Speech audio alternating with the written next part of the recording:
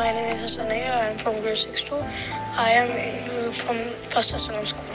Assalamu alaikum. My name is Suhaim and today we are going to start our scientific research on a topic related to recycling and waste management.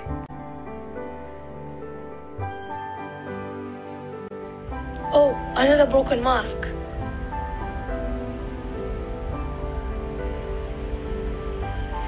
Wait, wait, why are you throwing this away? We can reuse it. My god, we can research on this for our scientific research competition. Yes, masks are made of polypropylene plastic. If we recycle them, we can reduce the production of plastic and make Earth's environment better. How do we reuse it? Let's figure a way out. How can we use the mask? What about the hair tie? That's such a great idea, but the rest of the mask will go waste, only the wire will be used. We can use it for decoration also. Yes, it's a great idea. We can use for flower, flower pot also. Plant pots, yes, this way we could have more plants and make Qatar greener too.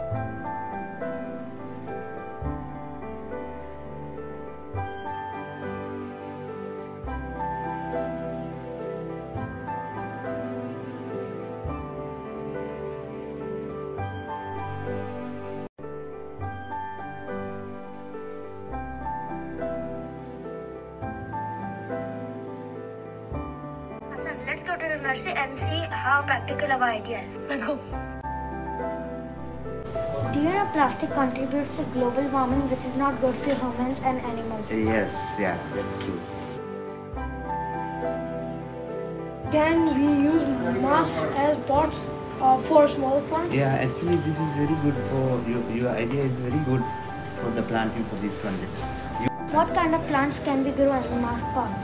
uh, you can grow any cuttings in the basil, mainly basil, uh, and uh, mint. Mint, you know, mint, no, peppermint, and then uh, tomato seeds or any kind of seeds which can grow in a bag. Can we grow coriander? Yes, of course. Yeah. Co- um, coriander, parsley, basil, any seeds you can uh, um, grow them in this bag. But after growth, you cannot keep this bag. You have to transfer into the bigger version of pot or either ground.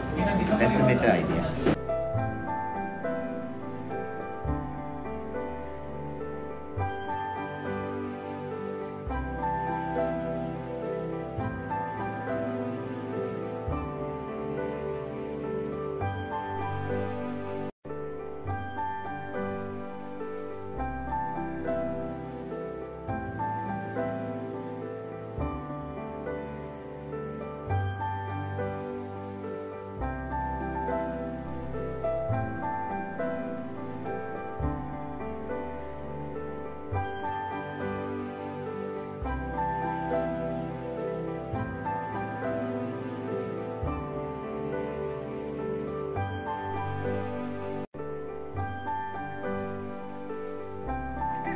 Consideration, we decided the best solution to our problem had to be something that would have an overall positive impact on our environment, as well as be of a great use by saving us from uh, extra consumption of our natural resources.